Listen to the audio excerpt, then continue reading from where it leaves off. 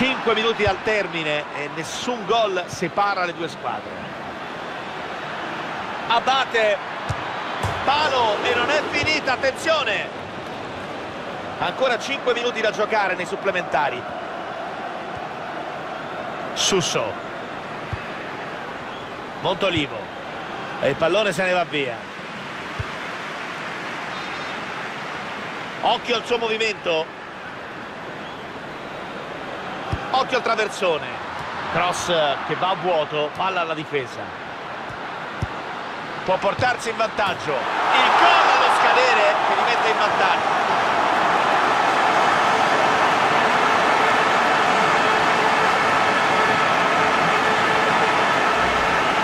Un gol che può probabilmente decidere la gara. Sì, credo proprio che non si andrà ai calci di rigore a questo punto.